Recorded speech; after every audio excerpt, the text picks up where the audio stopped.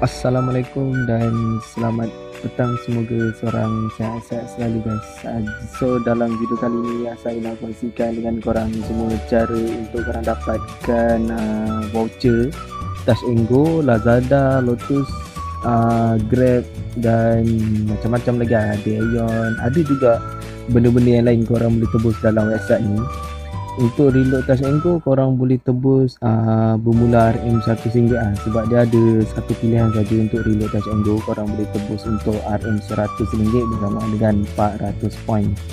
Dalam uh, website ni korang tak perlu main game korang tak perlu buat apa pun. Cuma korang kena invite orang saja untuk korang dapatkan point uh, dalam app website ni So dengan point yang korang invite tu ah eh dengan point yang korang dapat tu korang boleh ah tebus ah voucher ke apa-apa benda yang ada dalam website ni lah yang korang boleh tebus.